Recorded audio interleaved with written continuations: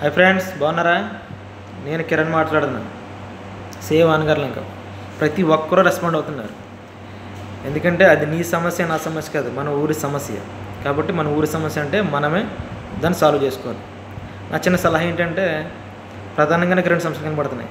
ఒకటే చెరువు రెండు మట్టి. చెరువుని చెరువు వల్ల నీటి కాలుష్యం గాలి కాలుష్యం తర్వాత మన జనాలకి జబ్బులు రోగాలు హాస్పిటల్ పాలు ఇది కంపల్సరీ అయిపోతుంది. కాబట్టి నేను కంపల్సరీ మనం ఆపాలి. ఇప్పుడే ఆపాలి మనం. ఎందుకంటే ఇదే టైం అది. ఇదే ఆపాలి. కాబట్టి మనం వాళ్ళకి మర్యాదగా చెప్పాలి వెళ్ళి సార్ మా పరిస్థితి ఇలా ఉంది. కాబట్టి మీరు కంపల్సరీ చెరువులు వేయొద్దు.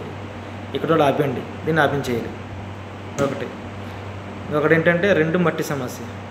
మట్టి అంటే నిజంగా ఆ ఊర్లో మనం పుట్టినందుకు నిజంగా గర్వపడాలి. ఎందుకంటే ఎటువంటి కాలుష్యం లేనట్టు ఊరు మంది.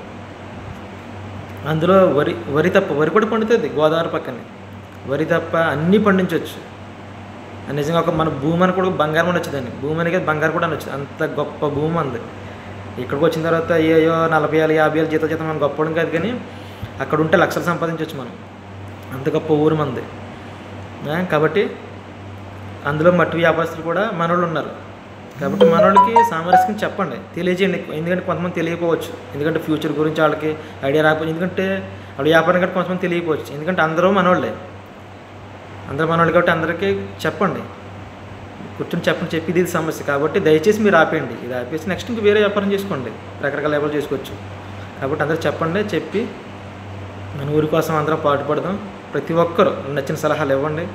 ముందుకు ఉండండి. అందరూ కలిసికట్టుగా ఉండి ఐకమత్యంగా ఉండే మన ఊరు బాగుపడుతుంది మనం బాగుపడతాం. ఓకే? జై హింద్.